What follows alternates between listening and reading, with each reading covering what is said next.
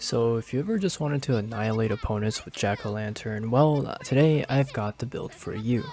Personally, this is literally just a copy-paste of my Cerberus build, so if you haven't seen that, go watch it, because that is going to be the fusion ingredient we will be using today. Also, this will require you to use two skill cards at the very least, but don't worry, the fusion path itself will have all the skills necessary, and so just inherit the skills you don't have cards for.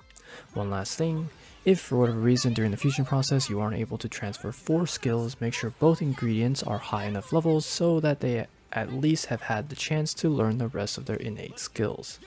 With that said, let's break down Pyro Jack. So innately, he actually is pretty useful as he does learn Burn Boost and Soul Thief, which means that you can regain SP while having increased chance at burn.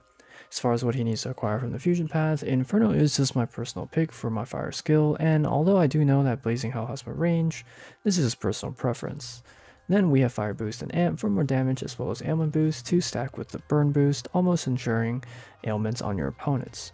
Lastly, I have Spellmaster and Enduring Soul. While Enduring Soul can't be swapped out for anything such as Drain Ice, Spellmaster is a must to counteract the costs of Inferno. Now that we broke down the build itself, the fusion path to get here really isn't convoluted. First, we will start with my Cerberus build that once again comes from my previous video, and pick the 4 skills you want to inherit as these 4 skills will stay consistent across the fusion path.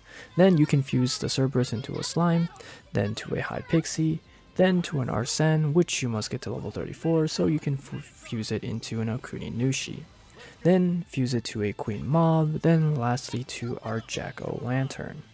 Overall, this build is honestly a meme, and while I personally would never really use them, this is just for those Pyro Jack fans out there. Again, if you have questions or anything of the sort, feel free to join my Discord, as that will be the quickest way to connect with me. So on that note, thanks for watching, hope you all enjoyed, and I will leave you all with a combo showcase.